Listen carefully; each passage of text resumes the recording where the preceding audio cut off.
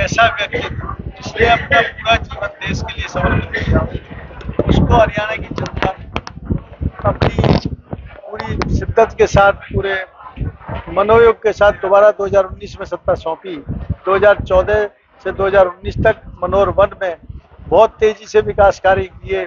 प्रशासनिक रूप से ऐसी ऐसी सुविधाएँ जो लोगों को सरकारी कार्यालयों में जाकर मिलती थी, उनको ऑनलाइन सिस्टम से मुहैया कराया। तो मुझे लगता है कि ऐसे मुख्यमंत्री का जन्मदिन पूरे कार्यकर्ता बड़े जोश के साथ बना रहे हैं और उनके नेतृत्व में जो विकास की बाहर पूरे हरियाणा में बह रही है, हमें उम्मीद है और तेज़ी से बढ़ेगी।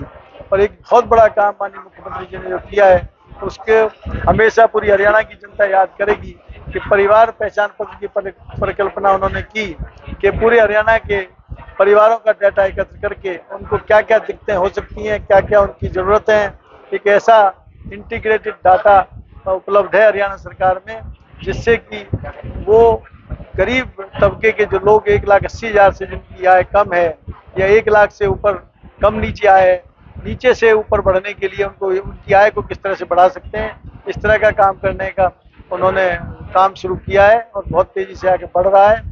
तो ऐसे यशस्वी मुख्यमंत्री जी को पुनः उनके जन्म पर हम हार्दिक बधाई देते हैं और कामना करते हैं कि इसी तरह से इसी मनोयोग के साथ वो हरियाणा की सेवा करते हैं। सर कोई सेवा दिवस के रूप में मना रहा है मुख्यमंत्री का जन्मदिन कोई अपने तरीके से मना रहा है? आपने किस तरह से मनाया है और एक संकल्प लिया है? वो क्या संकल्प रहा? देखिए हमेशा हम लोग सोचते हैं जब भी माननीय मुख्यमंत्री से मिलते हैं तो विकास की बात आती है।